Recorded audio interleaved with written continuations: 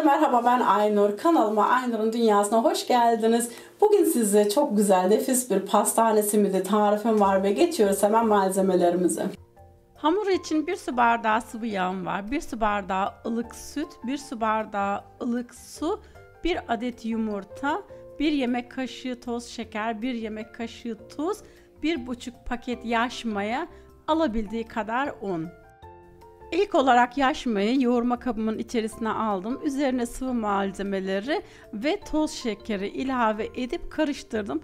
5 dakika kadar mayalandıktan sonra yavaş yavaş unu ilave edip hamurumu hazırladım. Ben tam olarak 5 su bardağı un kullandım. Çok fazla katı olmayan kulak memesi kıvamında bir hamur elde ediyoruz. Kesinlikle daha fazla un ilave etmeyin. Ellerinizi ara sıra yağlarsanız hamur elinize yapışmayacaktır ve daha fazla da un ekleme ihtiyacı duymayacaksınız.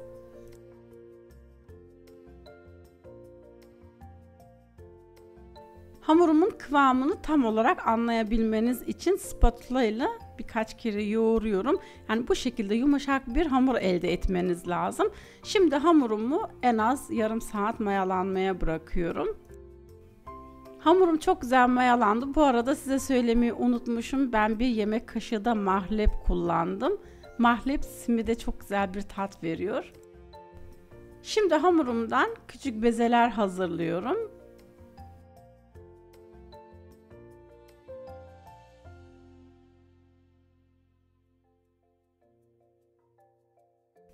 Bezelerimi merdaneyle küçük bir tabak büyüklüğünde açıyorum ve üzerlerine sıvı yağ sürüyorum. Rulo halinde sarıp bir kenara alıyorum. Bu işlemi önce bütün bezelerime uyguluyorum.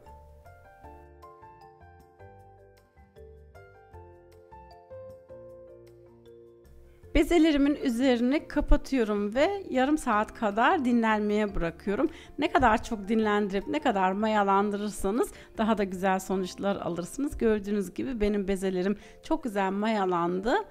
Şimdi bunları tekrar elimle açıyorum ve simit şekli veriyorum.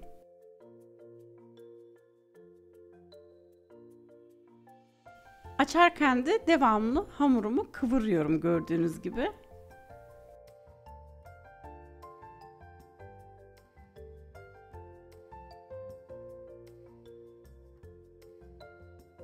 Hepsini hazırlayıp üzerine fırın kağıdı yerleştirmiş olduğum tepsime aldım ve tepside tekrar 15-20 dakika kadar mayalandırıyorum.